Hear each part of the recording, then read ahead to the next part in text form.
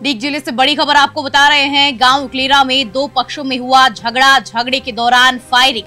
Firing में एक व्यक्ति को लगा गन शॉट घायल उदय चंद को चिकित्सालय में कराया भर्ती।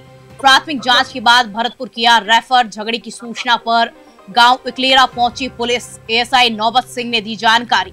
अब इस खबर पर और अधिक जानकारी देने के लिए पंकज हमारे साथ फ़ोन लाइन पर जुड़ चुके हैं। पंकज, क्या कुछ पूरा मामला है?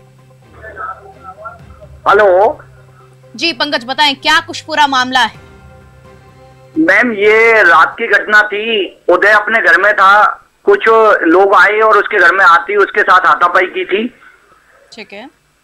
और उसमें फायरिंग भी की थी लेकिन फायरिंग में करके ना तो उसकी कोई लड़ाई थी पुरानी रंजिश बताई जा रही थी।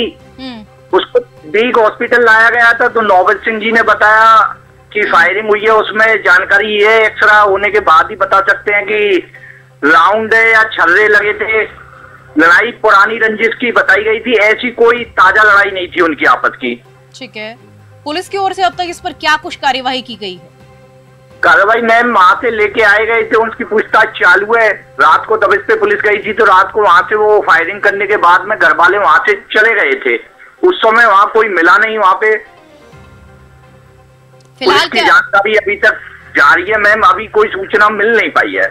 पंकज फ़िलहाल क्या स्थिति बनी हुई है? फ़िलहाल भरतपुर रेफर कर दिया गया है उसको मैम रात को ही। ठीक है पंकज आप इस खबर पर अपनी नज़र बनाए रखिएगा और हर एक अपडेट हम तक पहुंचाते रहिएगा। बहुत बहुत शुक्रिया पंकज आपका।